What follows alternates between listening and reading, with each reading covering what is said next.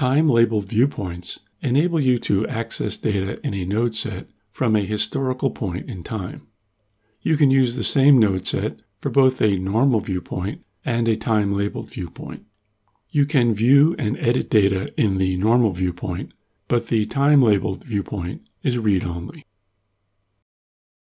Before you create a time-labeled viewpoint, you must create the time label itself. Time labels enable you to work with viewpoint data at a time point in history to assist in comparing, reporting, and analyzing data. Each time-labeled viewpoint uses a single time label. Let's create a time label. You can create two types of time labels, fixed and rolling. Rolling time labels can represent the end of a month, quarter, or year, fiscal quarter end, and fiscal year end. For example, you can create a rolling quarterly time label for a node set to compare current data to last quarter's data. The fiscal periods are based on the calendar fiscal year end month system setting, which enables you to specify the end of the fiscal year for your organization. Use prior to current to select the number of periods prior to the current period to display data for. For example, end of month prior to current equals 2 for December 7th, 2022 would be October 31st, 2022. To complete a rolling time label, enter the time of day. The time zone is selected automatically based on your user preferences. Fixed time labels are for a specific date and time in the past. For this example, I'll create a fixed time label for the current state of a cost center node set to track changes made to it over time. Save the time label. The time label is displayed. The next step is to create a time labeled viewpoint.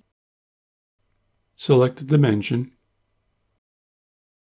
Provide a name and an optional description. For viewpoint class, select Time Labeled. Select the time label you created earlier. Click Create to open the viewpoint in draft mode. Edit the viewpoint, select the node set, and save. Close the Viewpoint Inspector and open the view.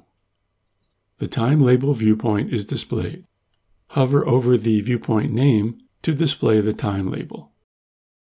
You can now use the view to compare a time-labeled viewpoint to a production viewpoint of cost centers. Keep the following considerations in mind regarding time-labeled viewpoints. You must have the owner permission on a view as well as the data manager or metadata manager permission on the data objects in that view to create a time-labeled viewpoint for it. Time-labeled viewpoints are read-only. You cannot modify any data in a time-labeled viewpoint. That means the following operations are not available. Requests, imports and viewpoint loads, and subscriptions. You also cannot perform exports for a time-labeled viewpoint, only extracts. You can perform read-only operations such as searching, comparing, and downloading from time-labeled viewpoints. To learn more, visit docs.oracle.com.